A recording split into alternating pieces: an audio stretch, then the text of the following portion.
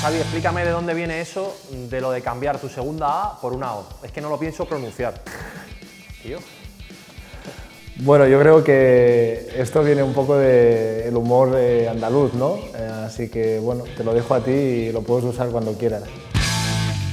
Carlos, ¿tú sabrías decirme ahora mismo a cuánto están las acciones que tú tienes en Estudiantes? Pues sinceramente espero que estén altas, ¿no?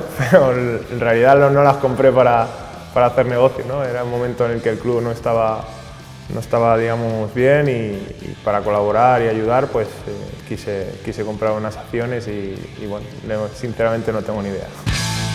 Costas, ¿qué sientes cuando la gente es incapaz de decir bien tu apellido? Costas Basil. Costas Basil. bueno, eso, eso pasó el primer año.